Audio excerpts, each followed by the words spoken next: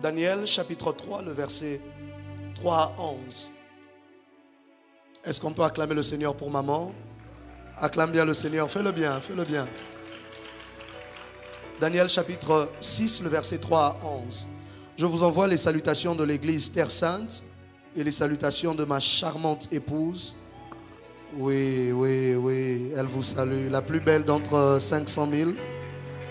Elle vous salue. Alléluia. Est-ce que vous recevez les salutations de mon épouse? Si vous ne recevez pas, je pars. Est-ce que vous recevez les salutations de mon épouse? La sentir moi mon pépé, moi jalousie et La pas million en Amen, amen. Daniel chapitre 6, le verset 3 à 11. La Bible déclare, s'il y a quelqu'un, sinon je vais lire.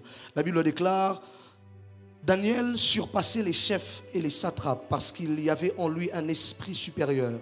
Et le roi pensait à l'établir sur tout le royaume. Alors les chefs et les satrapes cherchèrent une occasion d'accuser Daniel en ce qui concernait les affaires du royaume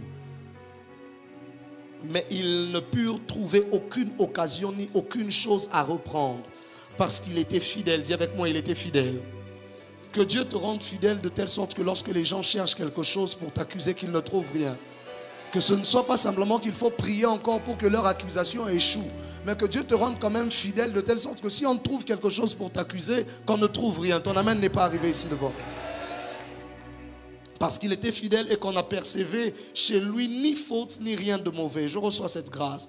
Et ces hommes dirent, nous ne trouverons aucune occasion contre ce Daniel, à moins que nous n'en trouvions une dans la loi de son Dieu.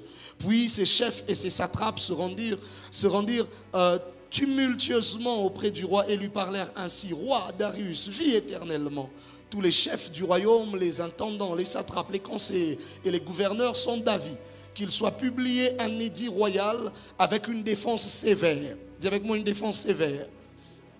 Portant que quiconque dans l'espace de 30 jours adressera des prières à quelque Dieu ou quelque homme, excepté à toi, au roi, soit jeté dans la fosse au lion. Maintenant, au roi, confirme la défense et écrit le décret, afin qu'il soit irrévocable selon la loi des Mèdes et des Perses qui est immuable. Là-dessus, le roi Darius écrivit le décret et la défense.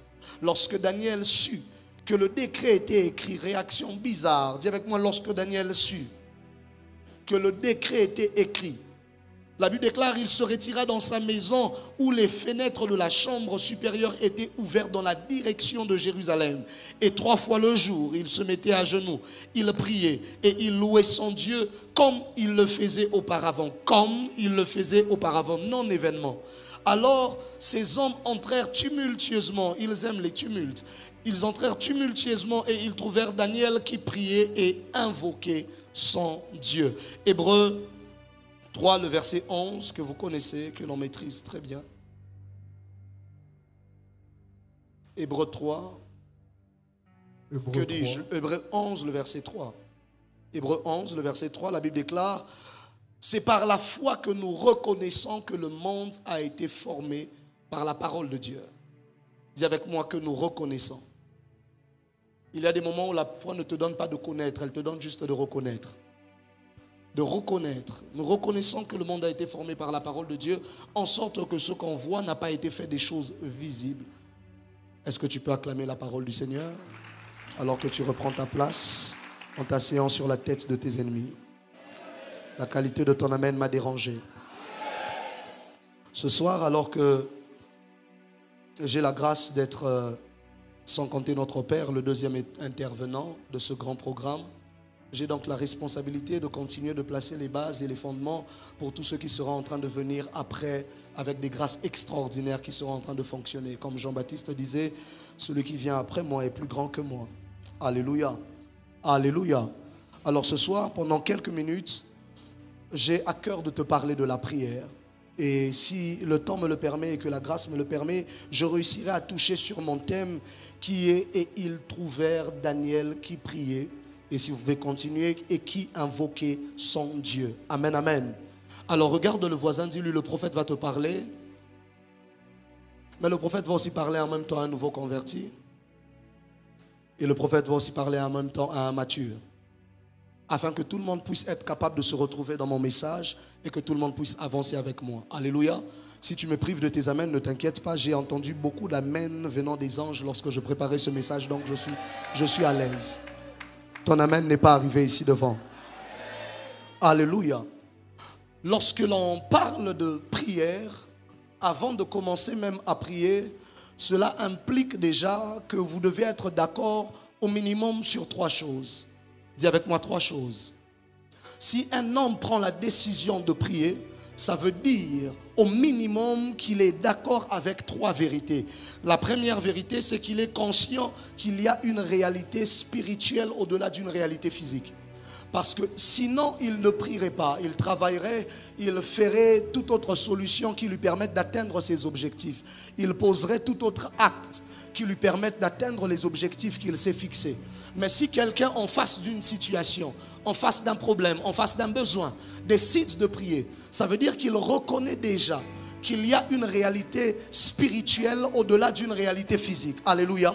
Alléluia. Parce que c'est impossible que tu crois, que tu puisses t'enfermer dans ta maison, être en train de dire des paroles à quelqu'un que tu ne vois pas, ou de déclarer des choses à des, à, des esprits que tu ne vois pas, à ordonner à, des liens de famille que tu ne vois pas. Être en train de faire cet exercice-là sans qu'au préalable tu sois d'accord avec la vérité de savoir qu'au-delà du monde physique, il y a un monde spirituel. Alléluia. Qui me dit avance prophète? Le premier pas de la prière, c'est donc la conscience d'une réalité spirituelle au-delà d'une réalité physique. C'est pour ça qu'il dit, c'est par la foi que nous reconnaissons que le monde a été formé par la parole de Dieu, de telle sorte que les choses visibles ne sont pas tirées des choses visibles, mais plutôt des invisibles. Alléluia. Alléluia. Ça veut dire que si je me mets à prier, j'ai conscience numéro 2 que les, les, les choses spirituelles influencent les choses physiques. La deuxième chose avec laquelle il faudrait que je sois d'accord, s'il faut que je me mette à prier, c'est que le monde spirituel a plus d'emphase, a une autorité sur le monde physique. Sinon, je ne, chercherai pas des solutions physiques dans un monde spirituel si le monde spirituel n'a pas de supériorité sur le monde physique. Alléluia. Lorsque j'ai un problème avec un petit frère, il serait normal que j'aille chercher le grand frère pour m'aider à régler le problème avec le petit frère. Alléluia. Lorsque je recours à la prière, c'est parce que dans le monde physique, je n'ai peut-être pas trouvé de solution.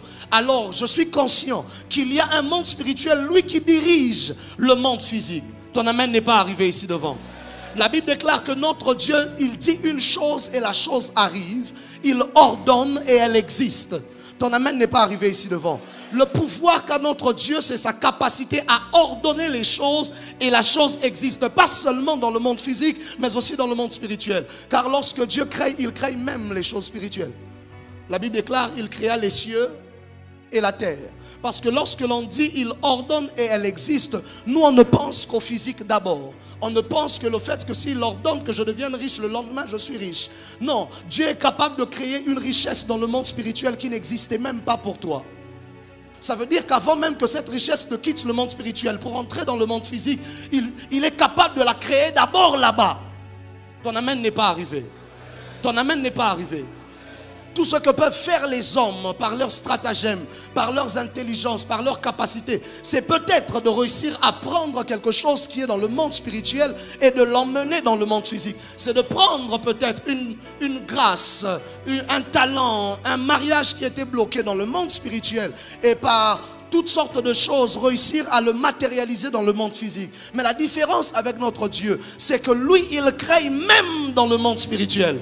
Parce que lorsque la Bible dit qu'il créa les cieux et la terre, lorsque la Bible parle des cieux, il parle du monde spirituel. Il a dû créer le monde spirituel ton amen n'est pas arrivé. Et c'est ce monde spirituel, puisqu'il l'a créé en premier, il est donc, ce monde spirituel est donc l'aîné sur le monde physique. Il a donc l'influence sur le monde physique. Les choses que nous voyons ne sont pas tirées des choses visibles, frères et sœurs. Les choses que nous vivons tous les jours ne sont pas tirées des choses visibles. Les accidents qui se produisent en route ne viennent pas d'abord d'un concours des événements physiques de quelqu'un qui s'est trompé au volant. Il y a derrière chaque événement sur la terre des esprits qui contrôlent les choses, qui décident des choses dans le monde spirituel.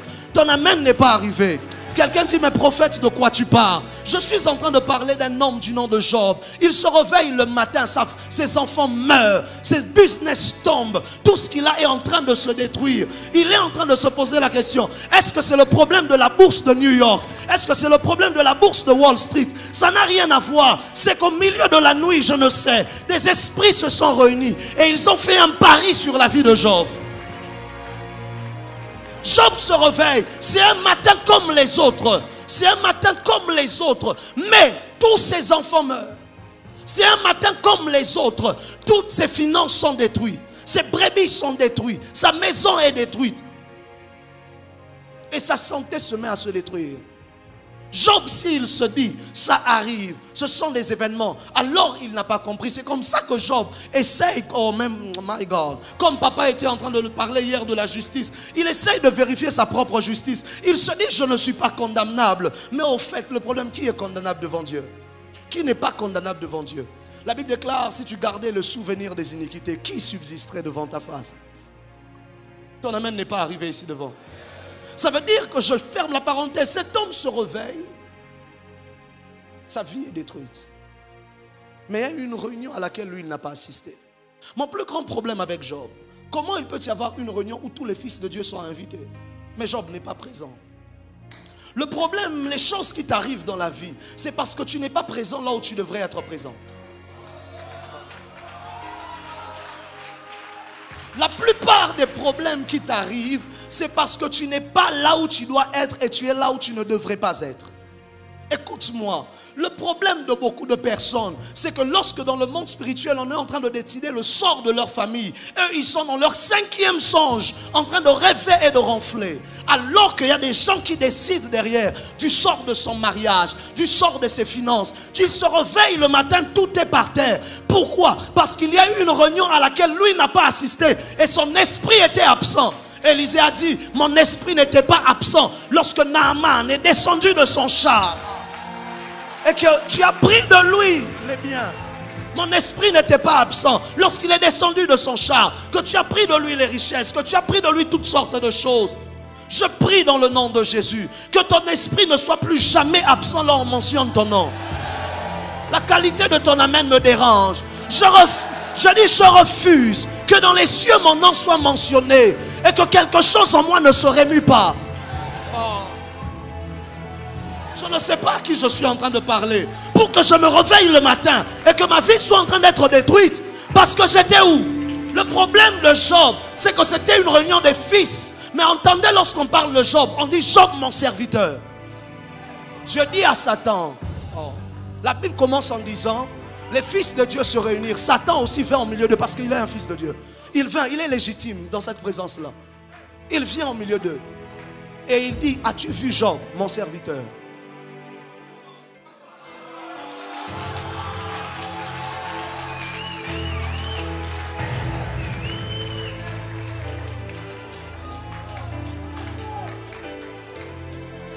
Je suis en train de te dire Je suis en train de te dire que la plupart d'endroits où tu n'accèdes pas, c'est à cause d'un problème d'identité. La plupart de dimensions à laquelle tu ne peux accéder, ce n'est pas d'abord à cause d'un manque de prière que tu avais eu, mais c'est à cause d'un problème d'identité qui ne te donne pas autorisation d'y avoir accès. C'est comme ça que lorsque Jésus vient, la première chose qu'il règle, c'est notre identité. Il meurt à la croix. Pourquoi? Pour que l'on devienne, afin que tous ceux qui l'ont reçu, que tous ceux qui croient en son nom, deviennent. Elle a donné le pouvoir de devenir. Elle n'a pas donné le pouvoir d'être. Elle a donné le pouvoir de devenir. Ah. Parce que tout esprit créé par Dieu a le pouvoir de devenir, de changer. Ah. Dieu a créé des choses dynamiques qui ont la possibilité d'être quelque chose aujourd'hui et d'être quelque chose d'autre demain. Ah, dans le texte de Michée, la Bible déclare l'esprit dit je deviendrai un esprit de mensonge dans la bouche des prophètes. Ça veut dire que l'esprit sait qu'il n'est pas un esprit de mensonge. Mais il est d'accord de devenir un esprit de mensonge pour réussir à entrer dans la bouche de prophète. Je prie dans le nom de Jésus que tu deviennes ce qui est nécessaire pour que tu accèdes. La qualité de ton amène est influencée par la hauteur de ma voix. C'est ça ton problème. Je dis dans le nom de Jésus que Dieu te donne l'identité qui est nécessaire afin de te donner accès à la grâce, de te donner accès à la cour, de te donner accès à la gloire. La prière me permet d'assister à la réunion où on parle de moi.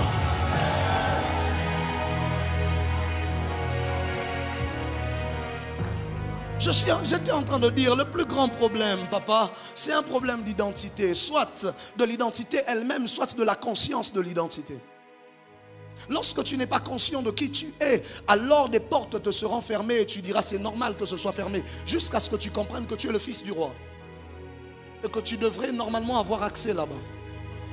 Et que ce qui t'est refusé est à toi. Oh, oh, oh. Dieu est un Dieu des principes. Dieu ne viole pas ses principes. Peu importe la qualité de l'huile qui est versée sur la tête de David, David ne peut pas devenir roi. Même si c'est l'huile la plus chaude du monde, David ne peut pas devenir roi. Parce que la royauté se transmet de manière biologique. Pour être roi, tu dois être fils de Saül. Normalement, celui qui doit être roi, c'est Jonathan. C'est-à-dire que David n'a pas l'identité qui lui donne accès à la royauté. Il n'en a pas. Je ne sais pas si quelqu'un est avec moi jusque-là. Au fait, tu n'as pas compris. Je parle de la prière. Je parle de la prière. David n'a pas l'identité qui lui donne la capacité de devenir roi. Et Dieu ne viole pas ses lois. C'est ça que vous ne comprenez pas avec Dieu. Dieu ne viole pas ses lois. Ça s'appelle la science des saints. Il, ne veut pas violer ses lois. C'est comme ça que par un concours de l'amour, Jonathan va faire alliance avec David parce qu'il aime David. Sauf que Jonathan ne comprend pas. En faisant alliance avec David, il fait entrer David dans la famille. Ça fait que David devient légitimement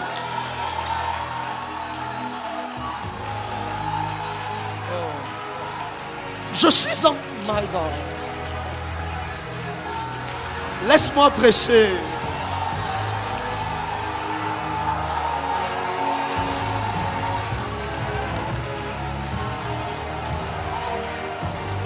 Laisse-moi prêcher.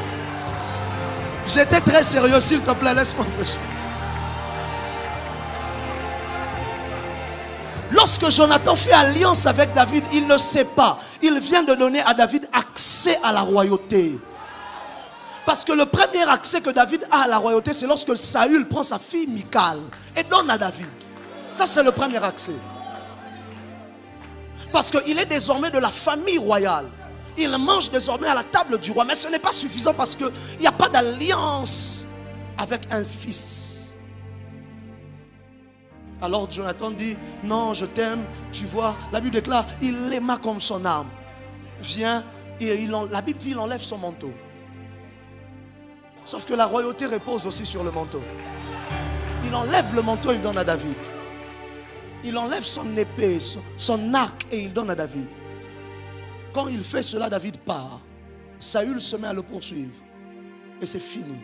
Il sait que quelque chose a changé plus rien n'était comme avant.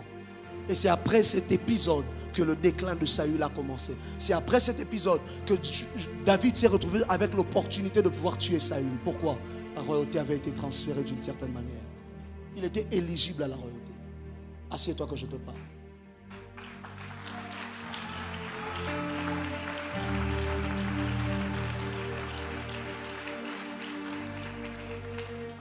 Je suis en train de te dire, de quoi est-ce que je parle? Je parle du fait que si je veux prier, je dois être d'accord que, un, il existe un monde spirituel.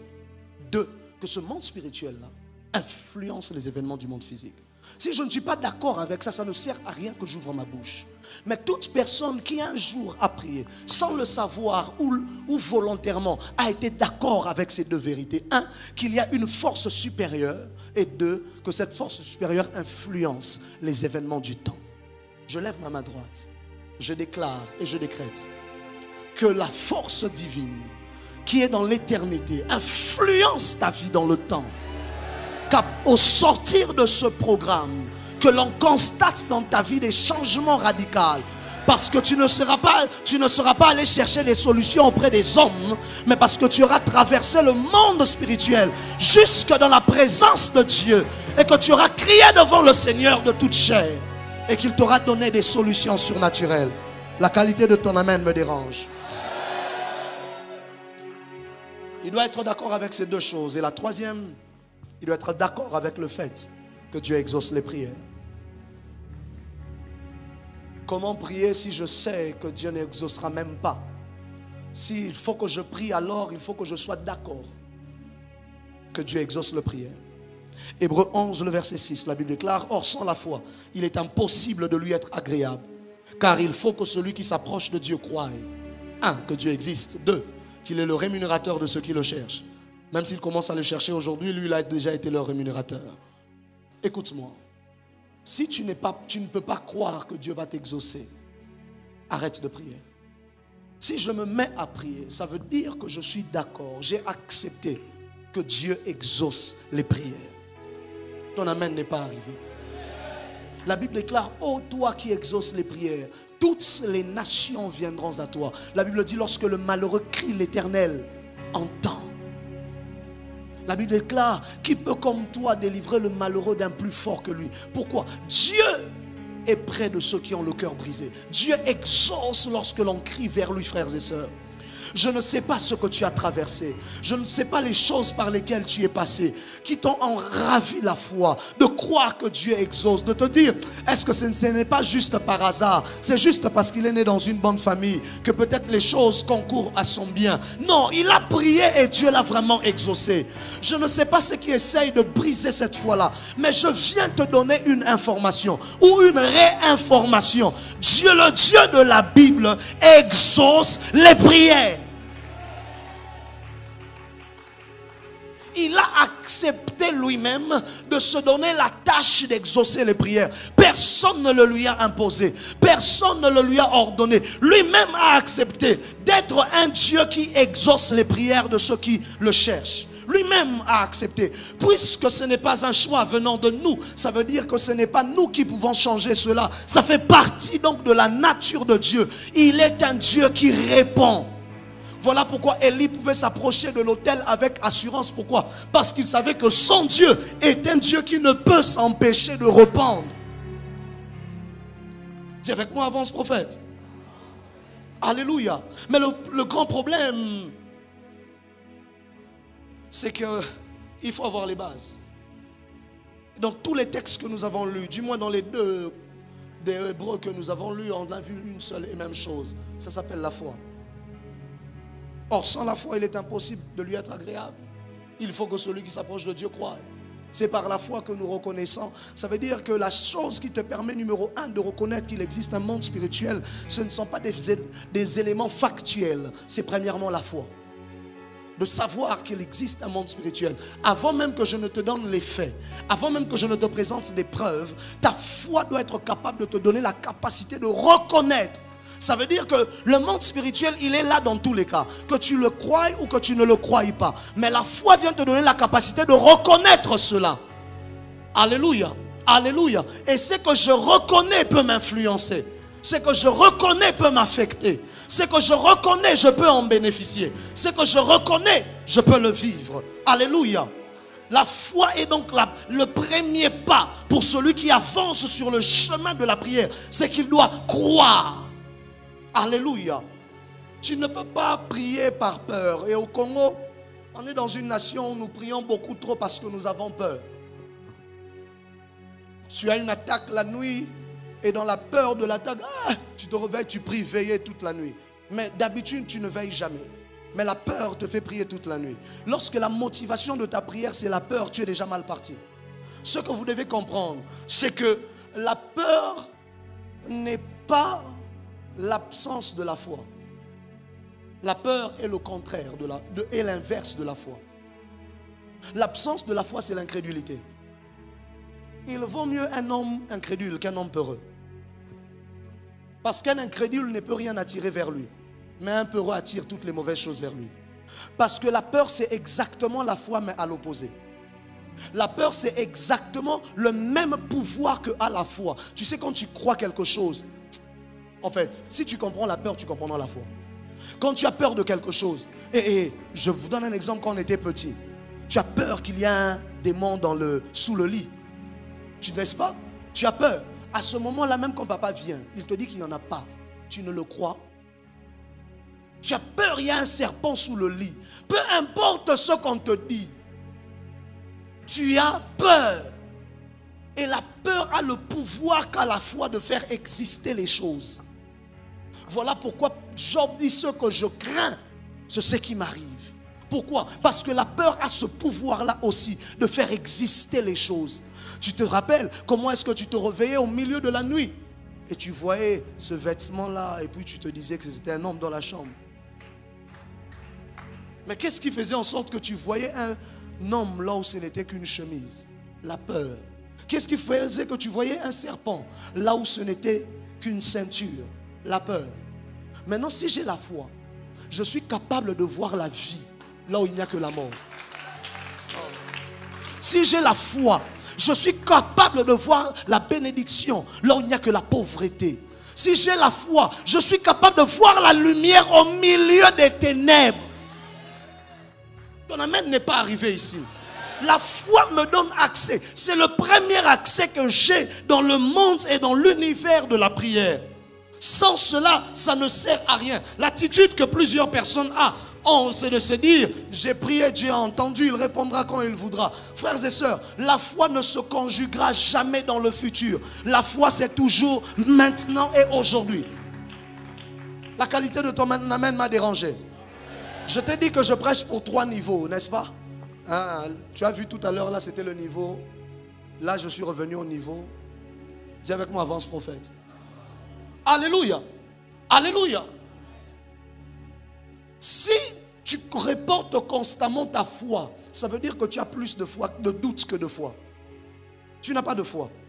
La Bible déclare, 1 Jean 5, le verset 14 à 15.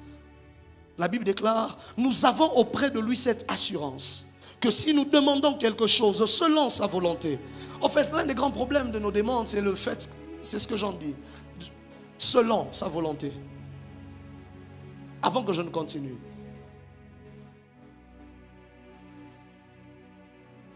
Nous avons beaucoup de prières et peu d'exaucement. Les raisons pour lesquelles il y a très peu d'exaucement, c'est que nous pensons que Dieu est un féticheur. Tu as raté l'occasion de dire Amen. C'est là qu'il fallait dire Amen. C'est parce que c'est ça que tu penses. Nous pensons que Dieu est un féticheur. Jacques 4, le verset 3. Je, reviendrai à mon texte, ne vous inquiétez pas. Il dit, vous demandez et vous ne recevrez pas. Vous ne recevez pas. Parce que vous demandez mal dans le but de satisfaire vos passions. Ça veut dire que si tu viens pendant 21 jours ici, et que toute ta demande a pour objectif de satisfaire tes passions, ce que tu as vu sur Instagram, ce que tu as vu sur TikTok, ce que tu as vu sur Facebook, ne t'étonne pas qu'à la fin tu ressortes vide. Il dit, vous demandez et vous ne recevez pas parce que vous demandez mal, dans le but de satisfaire vos passions. Ma génération a un problème, c'est qu'elle demande dans le but de satisfaire ses passions. Papa, ma génération a un problème. C'est que nous vous avons vu dans la gloire. Nous avons vu votre génération briller. Et nous demandons parce que nous convoitons désormais cette gloire-là. Et ainsi, cette gloire, on la convoite, on la demande, mais elle ne vient pas. Parce que Dieu ne répond jamais pour satisfaire les passions de quelqu'un. La qualité de ton amène me dérange. Apparemment, c'est de toi que je parle. Il y a des choses que nous ne recevons pas parce que tu as vu quelqu'un sur Instagram avec un certain costume, avec une certaine voiture, avec un certain luxe. Si c'est à cause de ça que tu t'es mis à demander, alors ta demande a déjà un problème. Il faudrait que ta demande ait des intérêts beaucoup plus élevés que ta propre personne. Dieu, non. Dieu n'est pas un investisseur à perte. Dieu n'investira pas sa puissance pour satisfaire ta passion. Dieu investit sa puissance pour ses objectifs à lui. Le moment où ton désir rejoint les objectifs de Dieu, c'est là que l'exaucement. C'est comme ça que Anne, tous les jours, montait pour satisfaire sa passion, de prouver à Pénina. Dieu n'a que faire de Pénina. Il pourrait laisser Pénina se moquer de toi encore toute ta vie. En fait, c'est ça le problème. Vous pensez que vos ennemis sont les ennemis de Dieu. Ce n'est pas dans tous les cas. Je répète ça, tous vos ennemis ne sont pas les ennemis de Dieu. Hein? Regarde le voisin, lui, tous tes ennemis ne sont pas les ennemis de Dieu. C'est comme ça que tu es blessé quand tu vois Dieu le bénir. Parce que tu pensais que Dieu c'est ton oncle. C'est comme ça que tu es blessé quand tu vois Dieu le rendre prospère. Ah.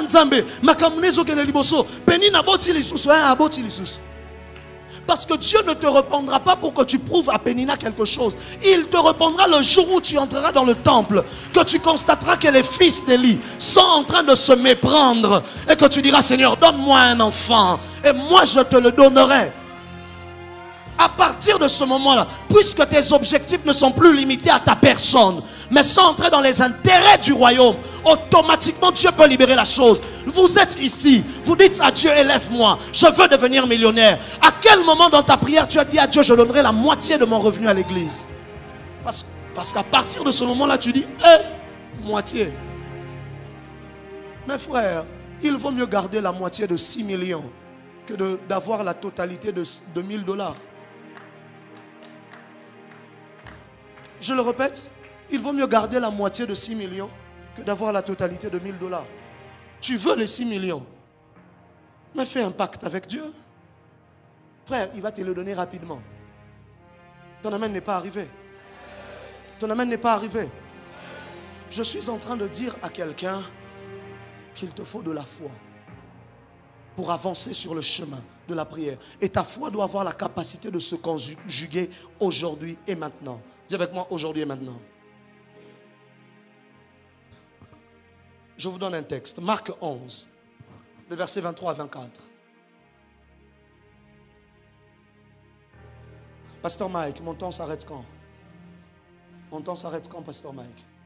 Que je sache comment gérer mon temps à partir de maintenant. J'ai encore le temps? Oh, gloire à Dieu. J'ai encore 40 minutes?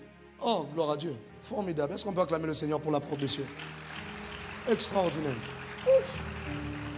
Quelle grâce. Amen, amen. Amen, amen. Marc 11, 23 à 24. La Bible déclare. Oui. Oui. Micro, s'il vous plaît. Oui. Je vous le dis en vérité. C'est bon, c'est toujours bon? Pas bon? Toujours pas bon. Je vous le dis en vérité, si quelqu'un dit à cette montagne, ôte-toi de là et jette-toi dans la mer, et s'il ne doute point en son cœur, mais croit que ce qu'il dit arrive, il le verra s'accomplir. Il dit, je vous le dis en vérité. Si quelqu'un dit à cette montagne, toujours le temps présent, ôte-toi de là, temps présent, jette-toi dans la mer, temps présent, s'il ne doute point en, son cœur, temps présent, mais qu'il croit que ce qu'il dit arrive, en prison. Il le verra s'accomplir. Verra, futur. Quelqu'un a dit l'accomplissement est dans le futur. Non. C'est tes yeux qui sont dans le futur. C'est pas accomplir qui est dans le futur, c'est voir qui est dans le futur.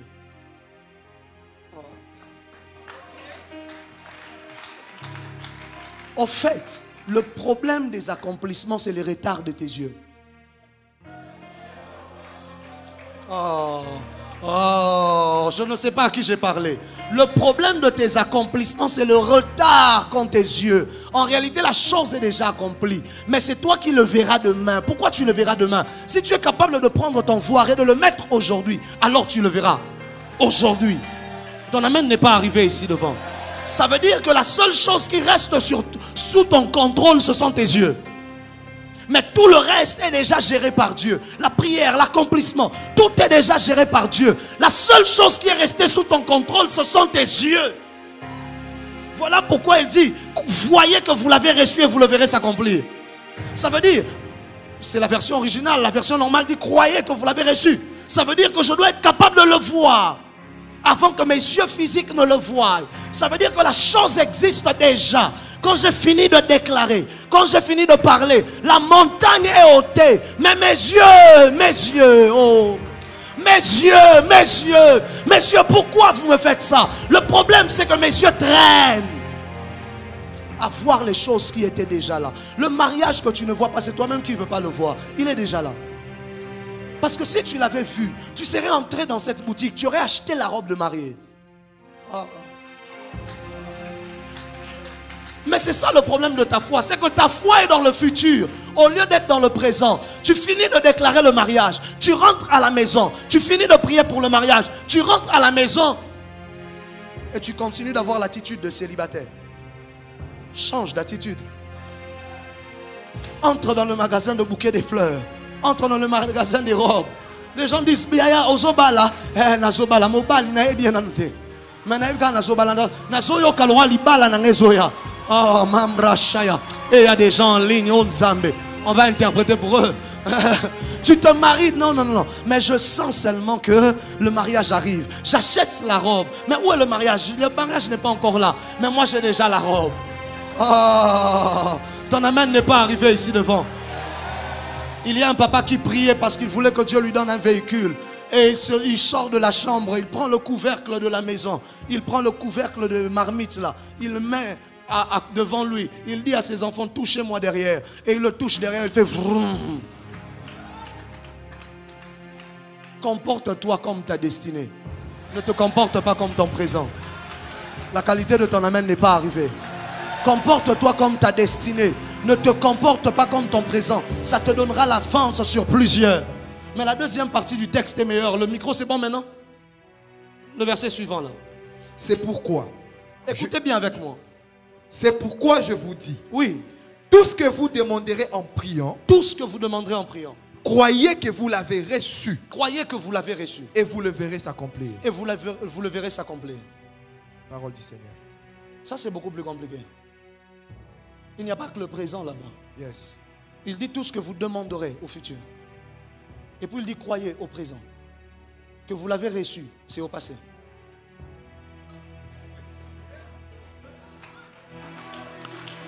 Il n'y a aucune loi de la concordance des temps dans le français qui permet cet exercice-là. Ça ne se fait nulle part. Si tu veux mettre une simultanéité, tu mets le présent ou tu mets des futurs qui se succèdent. Ça ne peut pas marcher comme ça. Tu ne peux pas dire tout ce que vous demanderez croyez aujourd'hui que vous l'avez reçu hier. Parce que Jésus te dit, les choses que tu demanderas demain, crois aujourd'hui que tu l'avais reçu hier. Quelqu'un me dit, mes prophètes, mes prophètes, mes prophètes, qu'est-ce que tu es en train de dire? Qu'est-ce que tu nous prêches? Je suis en train de te dire que si tu prends cette phrase, tu emmènes ça à ton prof de français, il va te dire qu'il y a un problème dans la phrase. Ça veut dire que Jésus ne parle pas d'une concordance de temps, mais il sait ce qu'il est en train de dire. Il te dit tout ce que tu demanderas demain. Crois aujourd'hui que tu as reçu ça hier. Ça veut dire que ta réception a précédé ta demande. Ta réception a même précédé ta foi. Ah, mais il faut que j'explique alors pour que tu sois d'accord. Parce que tu me regardes encore. Dis avec moi, explique et j'explique. Dis avec moi, explique et j'explique. Ça veut donc dire deux choses. Numéro un, soit avant même que je ne demande, Dieu sait déjà ce que je vais demander et l'a déjà donné. Ou numéro deux, le fait de recevoir n'est en rien lié au fait de demander, mais plutôt au fait de croire que Dieu nous a déjà tout donné.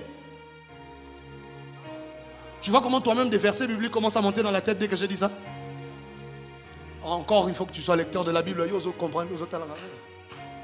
Dis avec moi, avance prophète. Dis avec moi, avance prophète. Est-ce que je peux parler comme le fils de mon père? Romains 8, le verset 32. Lui qui n'a pas épargné son propre fils, mais qui l'a livré pour nous tous, comment ne nous donnera-t-il pas aussi toutes choses avec lui Or, il a déjà livré son fils. Ça veut dire que tout ce que je demande, en réalité, je l'ai reçu. Quelqu'un demande toujours, ok, mais je l'ai reçu quand Parce que tout ce que je demanderai demain, je dois croire aujourd'hui. Pourquoi Pourquoi le croire, c'est toujours aujourd'hui Parce qu'il ne veut pas conjuguer croire demain. Ça, c'est numéro un. Il ne peut pas se permettre de conjuguer la foi demain. Il conjugue ça au présent. Mais pourquoi reçu, c'est au passé? Parce que ce que tu demandes aujourd'hui, tu ne le reçois pas aujourd'hui. Tu l'as reçu il y a 2000 ans sur la croix.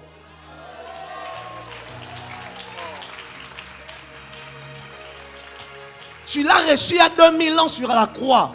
C'est ce qui explique la suite de la phrase où il dit, vous le verrez s'accomplir. Parce que les disciples allaient le voir dire, tout est accompli. Qu'est-ce que je suis en train de te dire Ton problème, c'est que quand tu es en train de demander, tu penses que tu n'as pas encore reçu. Alors tu demandes comme quelqu'un qui supplie parce que nous avons nae. Te aboyi te apesa yo kala. Senga makamwa apesa yo déjà. Oh, ton amen n'arrive pas ici devant. La prochaine fois que tu te lèveras pour demander, demande comme quelqu'un à qui on a déjà donné. Oh, ça veut dire quoi? Ça veut dire que j'ai mon compte à la banque. Il est déjà à moi. C'est juste que ce jour-là, je viens retirer 1000 dollars. Quand je suis devant le banquier, je ne suis pas en train de quémander. C'est mon argent. La banque ne te donne pas ce qui n'est pas à toi. C'est toi-même qui mets ton argent dedans. À moins que ce soit un prêt, bien sûr. C'est toi-même qui mets ton argent dedans. Et ensuite, le lendemain, tu viens. Et ils te font traîner dans les processus. Au point où tu commences à avoir la sensation que ce n'est pas ton argent. Mais c'est l'argent de qui? C'est à qui? C'est à qui? C'est à toi. Mais dis c'est à moi, c'est à qui? Dis bien, c'est à qui? Ça veut dire que la prochaine fois que tu te présentes devant le Seigneur, tu es juste en train d'aller avec un chèque de ta propre banque. Dans, dans ton propre compte, dans des choses qu'il a déjà réservées pour toi. La Bible déclare, la Bible déclare, il nous a préparés pour des bonnes œuvres. Il nous a destinés à des bonnes œuvres qu'il a préparées d'avance. Alléluia. Je parle de quoi? Je suis en train de te parler de la prière. Je suis en train de te dire, lorsque tu viens prier, ne viens pas prier comme un, mendiant qui est en train de quémander de la route devant euh, de l'argent à je ne sais qui. Non, tu es en train de parler à ton père qui a ton héritage. C'est comme ça que lorsque les fils demandent l'héritage, la Bible dit, il n'y a aucun moment où le père a dit, je ne vous donne pas l'héritage. La Bible dit, l'ordre de partager l'héritage entre les deux. C'est à toi. Regarde le voisin, dis-lui, c'est à toi. Change de voisin, dis-lui, c'est à toi. Tu vois, quand tu demandes ce mariage-là, tu as l'impression que tu commandes et que tu es un enfant de la rue. C'est comme ça qu'on lui dit, mais père, maître, apprends-nous à prier comme les disciples de Jean ont appris. Il dit, si vous, quand vous priez, dites notre Père. La prière ne commence pas si tu n'as pas compris que celui à qui tu pries, c'est ton Père. La prière ne commence pas tant que tu n'as pas eu la révélation du Père. Le problème d'entre plusieurs, c'est que Satan s'est arrangé de détruire la révélation que l'on a ou la compréhension que l'on a du mot Père. Parce qu'on a eu, certains ont eu des pères irresponsables. Certains ont eu des pères qui ont abandonné la maison. Certains ont eu des pères qui n'ont pas pris soin d'eux. Certains ont eu des pères qui sont peut-être partis trop tôt. Ils n'ont pas connu ce que fait un père pour son enfant. C'est comme ça que quand tu te présentes devant Dieu, tu as l'impression de quémander alors que tu es en train de parler à ton père. Je prie ce soir que Dieu te donne la révélation du Père. Celui à qui tu pries, ce n'est pas ton oncle. Celui à qui tu pries, ce n'est pas ton grand-père. C'est un père responsable. Oh, celui devant qui tu te prosternes, ce n'est pas le cousin de la famille. C'est un père responsable. Ce n'est pas je ne sais pas moi qui là qui va peut-être te dire va-t'en, je ne veux pas te voir. Non, c'est un père. Ça veut dire à chaque fois que je viendrai, il acceptera. Père veut dire Abba, veut dire source. Ça veut dire que quand je viens devant lui, lui-même sait que c'est lui ma source et je ne peux rien avoir en dehors de lui. Qu'est-ce que je n'ai reçu de Dieu? Maintenant, comment est-ce qu'il va me refuser quelque chose alors qu'il est ma seule source? Je prie, je déclare et décrète que tout ce que tu avais l'impression que le ciel t'avait refusé jusque-là, que cela te soit accordé au nom de Jésus que tout ce que tu avais l'impression que le monde spirituel, que Dieu t'avait refusé jusque-là, que cela te soit accordé jusqu'à aujourd'hui. Que cela te soit accordé maintenant. Dieu m'a dit de te dire, dis-leur, je suis leur Père. Il est ton papa. Lorsque tu pars chez ton papa, tu ne vas pas avec tremblement. C'est comme ça qu'il dit approchez-vous avec assurance devant le trône de grâce. Parce que même lorsque ton enfant s'est roulé dans le sable, même après que tu aies fini de le gronder, tu vas le prendre toi-même, tu vas le laver encore. Toi-même, tu vas l'habiller encore. Toi-même, tu vas le parfumer encore. Mais il a fini de se rouler dans le sable, oui. Mais je n'ai que faire, c'est mon enfant. Dis avec moi le Père. Le Père. Le problème, c'est que plusieurs ont grandi dans le modèle de père africain où il est tout le temps fâché, prêt à te taper. Non, ce n'est pas celui-là, Dieu. Dieu est un Père qui t'aime. Oh Seigneur, pourquoi je parle de ces choses? Dieu me dit de te dire, il y a des gens ici, des sœurs ici, tu as grandi sans ton Père. Ça a laissé des vides dans ton cœur au point où tu, ne sais pas te présenter devant Dieu. Quand, on te dit que Dieu est ton Père, tu dis qu'est-ce que ça veut dire? C'est comme ça qu'il ne m'exauce pas aussi comme mon Père m'a abandonné quand j'étais enfant. Non il est un Père présent. Il dit même si une mère abandonne son enfant, moi l'éternel, je ne t'oublierai jamais. Moi l'éternel, je ne t'oublierai jamais. Prophète de quoi tu parles? Je suis en train de te dire que la prochaine fois que tu te présenteras devant Dieu, sache que tu ne te présentes pas comme un serviteur. Tu ne te présentes pas comme je ne sais qui. Tu te présentes comme un fils qui est en train de parler de son héritage avec son père. La Bible déclare, nous sommes co-héritiers avec Christ. Lorsque l'on dit co-héritier, les gens comprennent 50-50. Non, c'est faux. Ça veut dire que tous les 100%, on partage ça ensemble. Quand on dit co-héritier, les gens disent, bon, ça veut dire que lui, il a 50%, moi j'ai 50%. Et quand tu vois Jésus a fait certaines choses, tu dis, bon, ça c'était sa partie à lui de l'héritage. Moi, ça ne se manifeste pas chez moi parce que ce n'est pas dans ma partie de l'héritage. Non. Co-héritier signifie le même héritage. Tu as droit autant qu'il en a droit. Si Christ n'est pas tombé malade, tu as l'héritage de ne pas tomber malade. Oh, ton amen n'est pas arrivé ici devant. Ton amen n'est pas arrivé ici devant. Si Christ n'a pas manqué des choses et qu'il pouvait les acquérir, la Bible déclare, il a de riches qu'il était. Il s'est fait pauvre. Il n'était pas pauvre, il était riche. Il s'est fait pauvre afin que nous fussions enrichis. Tu ne manqueras de rien. Il s'agit de ton héritage. Je veux que quand tu entreras ici chaque jour, pendant les recharges 21, que tu ne sois pas en train de venir comme quelqu'un qui vient commander, que tu sois en train de venir comme un fils qui entre dans la maison de son père pour dire Papa, d'ailleurs je suis venu parce qu'à l'école on a demandé encore un nouveau stylo. Tu veux que j'aille le stylo ou si ce n'est pas toi qui me le donne? Tu sais d'ailleurs ce qui se passe à la maison quand ton père te voit avec quelque chose que lui ne t'a pas donné, qu'est-ce qui se passe? Il se fâche, il te demande ça vient d'où? Comment est-ce que tu as eu cela? C'est comme ça que vous vous retrouvez avec des... Vous vous retrouvez avec des choses que Dieu ne vous a pas données. C'est comme ça qu'il dit à Adam, mais qui t'a dit que tu es nul Les feuilles là, qui te les a données? Qu'est-ce qui se passe? Pourquoi il y a une autre voix qui est entrée dans le jardin? Cet homme avec lequel tu es, qui est un homme marié, qui te l'a donné? Ce n'est pas ton père? Tu fais quoi avec lui? Cette femme-là, ce n'est pas ta femme. Ce n'est pas ton père qui te l'a donné. Tu fais quoi avec elle? Ce, ce, ce, Je ne sais pas qui. C'est pas à toi. Ce bureau-là pour lequel tu es en train de corrompre, ce n'est pas à toi. Ce n'est pas ton père qui te l'a donné. Qui te l'a donné? Dites-moi. Regarde le voisin, demande-lui qui te l'a donné. Est-ce que je parle à quelqu'un? Et ainsi tu viens à la maison. Papa ne comprend pas le iPhone 11 oyo. Ozwi yango wapi? Ere kobuka na bako ya kosenga biso awa. Futo wana kobunda eso.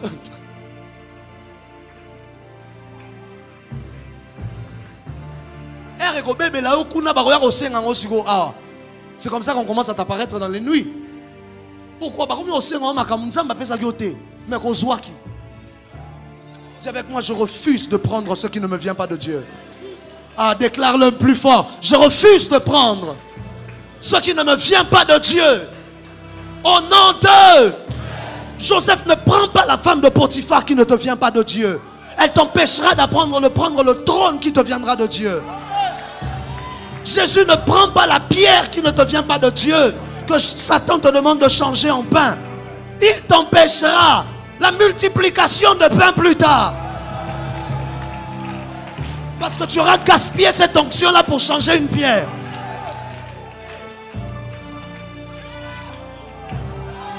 Un homme ne peut recevoir que ce qui lui a été donné du ciel. Je refuse d'avoir des choses dans ma vie que le ciel ne m'a pas donné. Naboyi. Naboyi memelangangambo. Oh, brandele de shamanda. Yali de leha.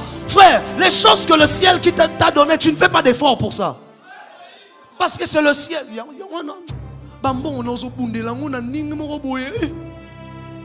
tu dois corrompre ici il faut futa siko wana. Mpo so osali bongo te abeti yo so acréele yo problème. Azomenase menase mpo nzambe apesi yo yango te quand dieu te le donne tu es en paix. Tu dors. Tu marches à l'aise. Oh les man de. Tu viens à l'église tu sens le parfum tu es en attitude d'adoration pourquoi? Mosala na nga nayibeli yango te mariage na nga nayibeli yango te makambo na nga nayibeli yango te nzambe nde moto apesi ah. Ah, que ceux qui sont en ligne me pardonnent. Mon mariage, c'est pas.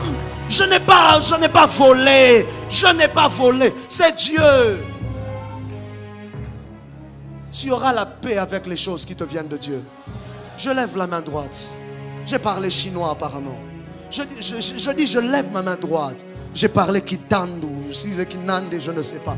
Je lève ma main droite. Je déclare et je décrète que le ciel s'ouvre et que Dieu fasse descendre ce qui est à toi. Qu'il te donne ton héritage. Que ça t'empêche d'aller chercher ce qui est au voisin. Que Dieu te donne ce qui est à toi. Au nom de... Avec moi, Dieu est un père. Assieds-toi. C'est comme ça que Caïn vient de tuer Abel. Il vient chez Dieu. Dieu lui dit, ah, tu as tué ton frère, le sang de ton frère crie, et si, ainsi de suite. Allez, d'ailleurs, tu es maudit, la terre ne produira plus rien pour toi. Caïn dit, eh, je vais faire comment avec cette malédiction Partout où j'irai, tout celui qui me trouvera, il me tuera. Et puis le père dit, ah, je mettrai une marque sur Caïn, afin que personne ne... Dieu est un père. Parce qu'il sait de toute façon, ce n'est Caïn. Oh. C'est comme ça que Dieu ne réfléchit pas comme nous. Nous, on est prêt à abandonner les gens. Dieu n'est pas prêt à abandonner les gens. Parce que c'est son investissement, c'est sa création. Il a investi beaucoup de choses. Il regarde quand il met la marque. Voilà, c'est comme ça que papa a dit. En réalité, la grâce existait depuis longtemps. Comment est-ce que Caïn vient de tuer, mais il parle avec Dieu et Dieu l'exauce Il parle avec Dieu et Dieu exauce Caïn. Et puis toi, Satan réussit à te faire croire que toi, Dieu ne va pas t'exaucer. Je dis, je brise ces esprits. Je brise ces pensées au nom de Jésus. Je déclare et je décrète que tout ce que tu demanderas ce soir, tu vas le recevoir. Je dis, tu vas le recevoir. Je dis, tu vas le recevoir. Au nom de...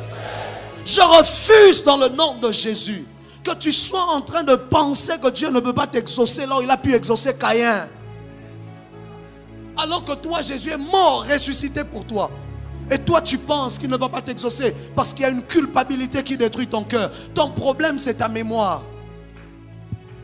Le problème de l'homme, c'est la mémoire de son péché. Parce que Dieu lui-même s'efface la mémoire de ton péché. Le problème, c'est que chez toi, c'est resté. Alors que lui, il l'a déjà effacé. De quoi est-ce que je parle? Je suis en train de te dire que lorsque tu t'avances devant Dieu pour prier, rappelle-toi seulement qu'il a exaucé Caïn. Tu vas mieux prier. Je te, tu, vas mieux prier. Rappelle-toi seulement que des démons lui, lui ont dit pardon, maître. Ne nous envoie pas errer. Mets-nous dans les pourceaux. Jésus a dit d'accord, allez-y. Et puis moi je prie que Jésus refuse. La Bible dit il le prière, ça veut dire que c'était une prière. Mais c'est dans vos Bibles. Dans le Bible, dans C'est avec moi avance prophète. Maintenant moi je vais prier, moi Ézéchiel, pour lequel il est mort à la croix. Et puis, je finis de prier à Betingakara. Jamais. Je dis jamais. Dis avec moi jamais. Dis avec moi jamais. Qu'est-ce que je suis venu faire aujourd'hui? Je suis venu changer ton système de pensée pendant tes prières. Afin que lorsque tu pries, que tu penses différemment. Que tu te dis s'il a exaucé Caïn. Hé, Caïn. Tous les jours, on, parle, on continue de parler de Caïn jusqu'aujourd'hui. Comme le pire de tous les hommes. Mais pourtant, Dieu a pris la marque, il a mis. Tout celui qui touchera Caïn, Caïn, Caïn sera vengé cette fois. C'est-à-dire Dieu s'engage à venger Caïn. Qui lui venait de tuer son frère. Je ne sais pas le mal que tu as commis hier, mais le Dieu de la Bible a une seconde chance pour toi. Je dis le Dieu de la Bible a une seconde chance pour toi. C'est comme ça que Caïn qui était cultivateur, quand il voit que la terre ne produit plus rien parce que Dieu a maudit la terre, il devient bâtisseur. Il s'est juste reconverti. Hein? le cultivateur est devenu bâtisseur. Parce que Dieu m'a dit la terre. Il a, dit, il a interdit à la terre de produire pour lui. Il a dit d'accord, si la terre ne produit pas, je peux construire avec. Maintenant, toi, c'est la grand-mère qui a maudit un domaine de ta vie, mais tous les autres ne fonctionnent pas. Même si on laisse sa malédiction là, tu es obligé de prospérer quand même. Caïn a réussi, a réussi, malgré que Dieu a maudit. Il a compris, Dieu n'a maudit que la terre. Il n'a maudit que mon agriculture. Parce que j'avais fait l'offrande, il n'avait pas agréé. Il n'a maudit que mon agriculture. Je peux me reconvertir. Je peux devenir un bâtisseur. Si ça ne marche pas quelque part, demande à Jonathan Isaac, qui est dans l'entrepreneuriat, il te dira, reconvertis-toi dans autre chose. Change de domaine. Mais quel mususu Ekosimba, Dieu voisin Ekosimba. Ceux qui sont en interne, ça va toucher. Dis avec moi, avance prophète. Dis plus fort avec moi, avance prophète. Mais de quoi est-ce que je parle?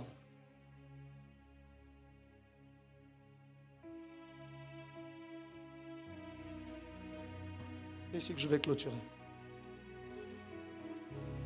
La Bible déclare que les gens sont autour de Daniel. Je vais dire des choses simples et on va prier. Ils se disent, ce gars, on doit le détruire. On doit mettre fin à son succès. Mais ils cherchent dans l'organisation, dans le gouvernement, une faute. Dans l'administration, ils ne trouvent pas. Ils disent, ah, si dans l'administration on ne trouve pas, cherchons quelque chose contre lui dans la loi de son Dieu. Satan sait qu'il ne peut pas te vaincre. Le seul moyen pour lui de te vaincre, c'est de te créer un problème avec Dieu. Parce que de lui-même, il n'a aucun pouvoir, il n'a aucune capacité de te vaincre. Ils disent la seule chose, trouvons un problème dans la loi de son Dieu contre lui. Alors ils disent, on va interdire à qui que ce soit de prier quelconque autre Dieu. Ça veut dire qu'ils ont accepté eux-mêmes de ne pas prier leur Dieu. Pourvu que Daniel ne prie pas son Dieu. Tu ne sais pas ce que les gens sont prêts à payer pour te voir ne pas prier. Ça veut dire qu'eux-mêmes, ils avaient de Dieu. Eux-mêmes, ils croyaient en des dieux. Mais ils ont accepté ne pas prier leur Dieu pendant 30 jours. Et de ne prier que le roi dont il sait qu'il n'a rien. Mais de ne pas prier leur Dieu. Pourvu que Daniel ne prie pas son Dieu. Tu ne sais pas ce que les gens sont prêts à payer, à sacrifier pour voir ta vie de prière morte. You don't know. Tu ne sais pas ce que les gens sont prêts à sacrifier là, sa propre destinée pour voir ta vie de prière détruite. Lui-même qui croyait, je ne sais pas moi en balle, je ne sais pas moi à starter, je ne connais pas quel Dieu auquel il croyait, mais ils sont prêts. 30 jours, on ne va pas aussi prier notre Dieu. Mais pourvu que Gracien assemble la terre, pour ceux qui assemblent, le réveil va tomber. Pourvu qu'Ézéchiel ne prie pas. S'il prie, vous va changer. Alors on doit tout faire pour l'empêcher de prier. Combien de fois les plus grands combats que l'on a dans nos vies, ce ne sont pas les combats que l'on a dans nos sociétés, c'est les combats des choses qui essaient de nous empêcher de prier. Vérifiez bien, frères et sœurs. La plupart des fois, ta chair, TikTok, Instagram, tout ça, tout ce que le système du monde crée, toutes ces distractions que le monde crée, toutes ces choses que le monde fait, ah, toutes ces choses que le monde fait, c'est juste pour essayer de réussir à empêcher un Daniel de prier son Dieu. C'est tout, c'est tout. Ils sont prêts à se priver à te donner toute la connaissance par TikTok, que tu aies accès, que tu aies accès à ton cousin éloigné alors que vous ne parliez pas par Facebook. Mais en réalité, il y a un objectif caché. Tu seras tellement occupé tellement occupé. Tu seras tellement en train de faire autre chose. Ils ont sacrifié même l'avenir de leurs propres enfants. Même si leurs enfants doivent devenir aussi addicts aux réseaux sociaux, c'est pas grave. Même si leurs enfants doivent aussi devenir abrutis à cause de la pornographie, à cause de toutes choses, c'est pas grave. Mais pourvu qu'ils réussissent à t'empêcher de prier. Et aujourd'hui, on a une église où les gens font tout sauf prier. Continue, ne change rien. On a une église où les gens savent tout faire, sauf prier. Soit ils prient, de la mauvaise manière, soit il ne prie pas. Et ainsi, à chaque fois que tu commences à monter dans la prière, un événement arrive pour essayer de t'empêcher de prier. Le feu de la prière s'éteint encore. Et tu te dis, qu'est-ce qui se passe? Toi, tu dis, c'est normal, j'étais fatigué. Après recharge 21. Non, il y a quelqu'un quelque part qui se sont réunis. Ils ont dit que personne ne prie un quelqu'un contre Dieu et compris le roi Assyrus. Et aujourd'hui, il y a un roi dans la terre qu'on est en train de prier. On prie Mark Zuckerberg, on prie je ne sais pas qui, on prie tous ceux qui nous ont donné les réseaux, on prie Xing Show, si c'est Xing Show de TikTok là, je ne sais pas. Tout le temps, ils nous gardent avec eux, ils nous gardent avec eux, ils nous gardent avec eux parce qu'ils savent. Frère, si on devait récupérer la vie de prière de nos pères, avec les grâces faciles que Dieu nous a données de nos jours, s'il fallait qu'on récupère la vie de prière d'Idaosa, s'il fallait qu'on récupère la vie de prière d'Adina Bala, s'il fallait qu'on récupère la vie de prière de ses pères, quels sont les résultats qu'on produirait? Aujourd'hui, ils nous ont laissé les grâces. Ils savent que Dieu nous a fait des dons. Ils savent que nos yeux s'ouvrent, que la puissance se manifeste par nos mains. Mais ils nous ravissent la prière. Et ainsi tes dons sont toujours au plus bas niveau, au plus bas niveau, au plus bas niveau, au plus bas niveau. Pourquoi? Ce n'est pas alimenté par une sérieuse violence Oh, oh, oh, que Dieu restaure les flammes de la prière dans nos cœurs. La Bible dit la promesse est pour vous, pour vos enfants et pour tous ceux qui sont au loin, en aussi grand nombre que Dieu les appellera. La promesse est la même, mais la prière n'est plus la même. Et à chaque fois que tu dois aller prier, ce sera pour les enfants, ce sera pour la télé, pour le voyage, pour le mariage, pour, pour les choses de la terre. Il garde ses yeux fixés sur la terre. Fixés sur la terre, fixés sur la terre, fixés sur la terre. Il t'empêche de prier. Et quand tu pries, c'est parce que tu as un problème de loyer. Il t'empêche de prier. Et quand tu pries, c'est parce que ta fille n'a pas accouché. Il t'empêche de prier. Et quand tu pries, c'est parce que l'argent que tu devais recevoir n'est pas venu. Tu il t'empêche de prier. Et quand tu pries, c'est parce que quelque chose de la terre. Daniel est au milieu des rois. Il est déjà dans la gloire. Il prie pourquoi?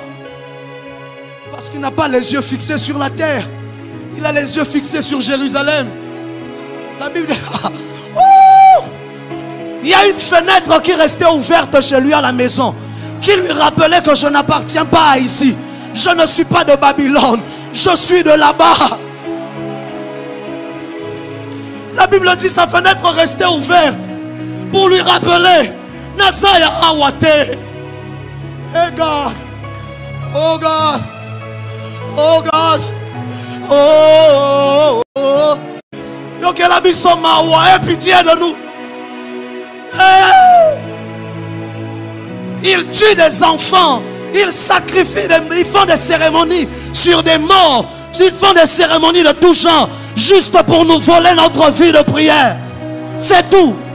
Garde tes voitures garde tes affaires, garde tes finances, mais ils viennent pour te voler une chose, c'est la vie de prière.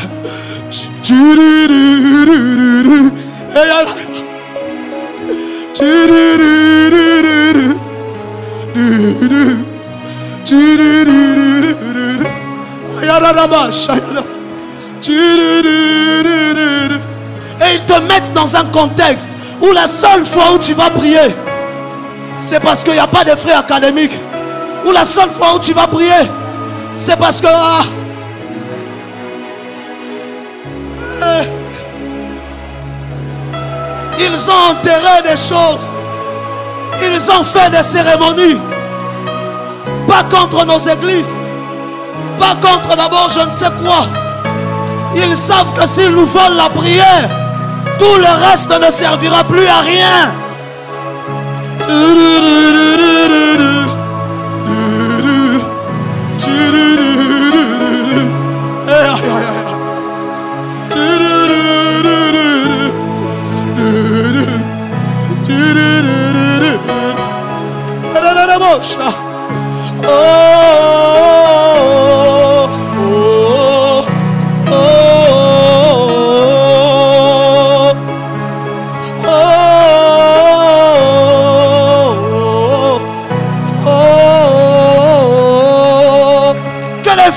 Flammes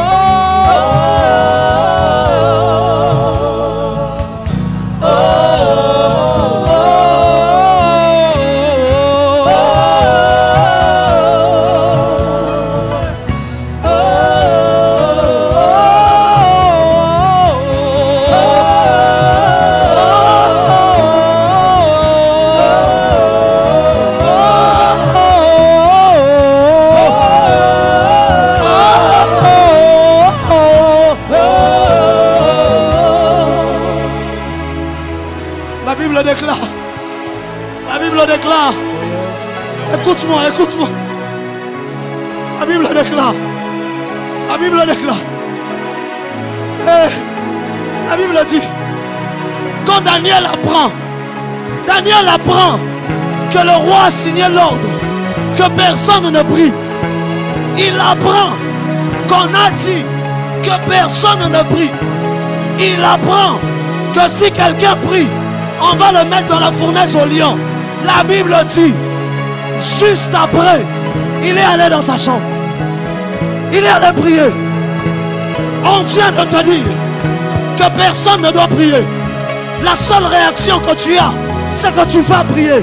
Il dit, si on commence à interdire la prière, ça veut dire qu'il faut que je prie. Si on commence à interdire la prière, ça veut dire qu'il faut que je prie. Et la Bible dit, ils vinrent. Ils trouvèrent Daniel en train de prier. Il va me trouver ici. Il va me trouver ici en train de prier. Ils attendent que j'arrête. C'est pas grave. Il va me trouver ici en train de prier. Ils sont en train de la chambre. Daniel ne se cachait pas. Daniel n'avait pas honte. Il les a entendus venir. Mais il a dit, il va me trouver ici en train de prier. Pour, faut mieux qu'il m'arrête en train de prier. Faut mieux qu'il m'emprisonne en train de prier. Mais elles ne vont pas me ravir la prière. Oh! Oh! Oh!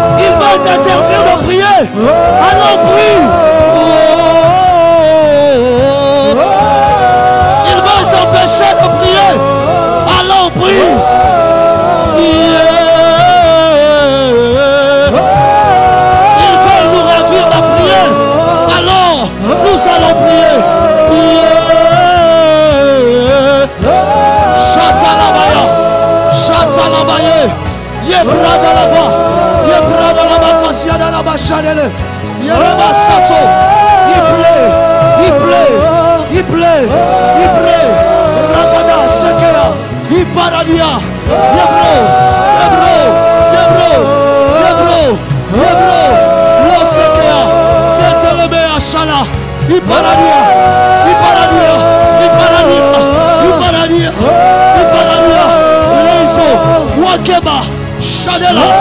Zipaya. Ifata. Ikele. Seketo. Shakata. Yeberadia.